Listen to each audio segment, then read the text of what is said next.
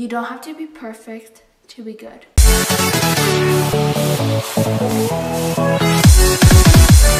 Ecclesiastes 7, verse 20. There is no one on earth who does what is right all the time and never makes a mistake. Stop waiting for perfection. Stop obsessing about every detail. Stop stalling for some standard that you can't reach and nobody cares about. You don't have to be perfect to be good, and you don't have to be the best to add value. Instead, show up, get things done, and get going. We need what you have to offer right now, today. This was said by Christy Wright. I hope you enjoyed my video. If you did, please comment and like. Don't forget to subscribe and hit the notification bell so you don't miss an upload.